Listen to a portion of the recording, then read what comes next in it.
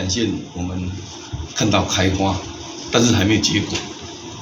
我们也知道北宜高铁、铁路高架、国五衔接苏阿改、苏阿安以及台六十二线，跟长久期待的台二根线，这些重大建设计划，即将在未来五年会动工，在宜兰推动起来。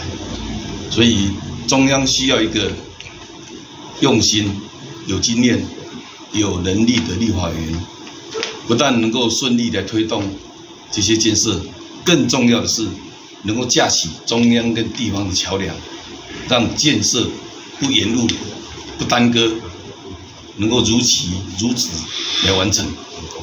这个使命，我认为我责无旁贷，所以怀着欢烈。的一个心情，跟我的团队来承接这样的使命。我们希望啊，宜兰县动起来。